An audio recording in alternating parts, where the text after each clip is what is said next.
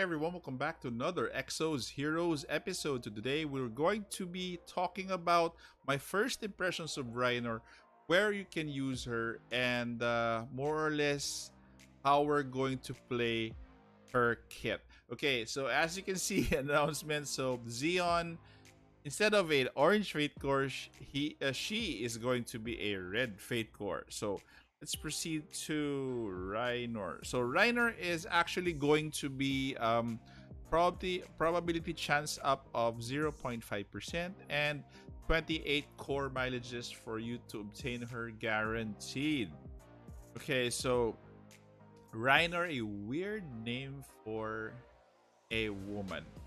Very weird name, but definitely the design is very, very good again i like the theme of this nation but again we don't we don't need new nations at this point. But again i hope moving forward this is the last nation that they're going to put out so that they can add other heroes to the newer nations that have come out. Okay so let's take a look at her kit guys. So her passive is going to be focus fire 3 afflicts target with focus fire mark and decreases dodge, block for one round on basic attack, uh, which is tied to her other passives as well. So kinda no, take note of this one. So gains one mana when mark target dies and gains one mana if health of target is at 70% or more. So decreases block and dodge for one round. So you can basically kill off a target with less block and less dodge. Fiesta, her first passive is Marks Fiesta Flex Fiesta to an enemy with lower attack than self if an enemy with Fiesta Mark is hit with a basic attack. So after you decrease dodge and block, then you deal piercing damage equal to 100% of own attack, which is actually crazy. So let's let's tie everything up, okay? So curtain off counters when an enemy attacks another ally besides self. Okay, so what do you do when you counter? Of course, you you attack with your basic attack. So again, decrease dodge block, then piercing damage to 100% of own attack. So again, this stacks. So three effects stacks already. And um, if there are two or other more living allies at the start of the round, or front row allies at the start of the round, grant stealth self for one round, which actually gives her more survivability. Rota Fortunae is every time own basic attack hits an enemy, increases own attack by 20% and can be stacked up to 5 times. So, let me just tell the story one more time. Attack decreases dodge and block. Okay? The next is um sorry, basic attack decreases dodge or block. Then you have uh, dealing piercing damage if um, the attack of Rienor is higher than your enemy. So that's two. Next would be counters as well. You can use this in your counters.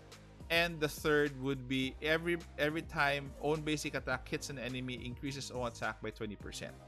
Okay, considering that some of these qualifiers are high, especially if um, the attack stat is uh, low for Rienor, her kit is actually perfect for the dragon.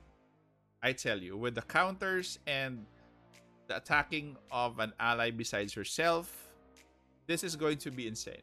Um, the, the increased attack of 20% can stack up to 100%. And again, this is going to be fantastic, guys.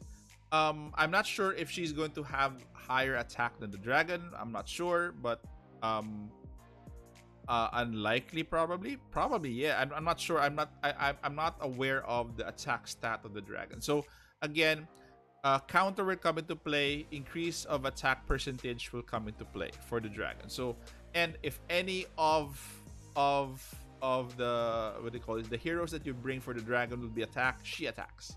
So there's no a there's no uh, no there's not a hard qualifier um like unlike uh, Brook um that you should combo her with a specific hero for her she just has to be placed in that team so again I see her use mainly in PvP a PVE, particularly in the dragon.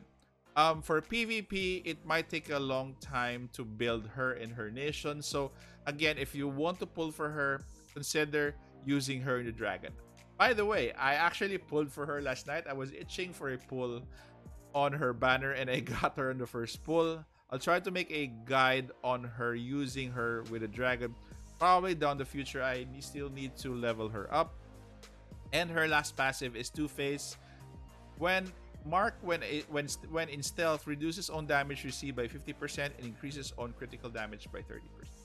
So this is going to be this. The critical damage is also going to play again with your counters, additional attack. I'm not sure how big of a damage she can put out, but we will try that in the future video with the dragon. Okay, S1 is going to be um, deals 255% damage to all enemies, so required 4, which is kind of average or below even.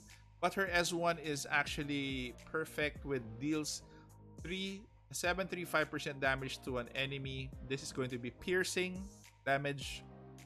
So dom domination judgment required mana is going to be 5. So this can be used because most of the time she's going to use her basic attack then she'll have enough mana to pull this off. so my thoughts with her, she's going to be a PvE specialist.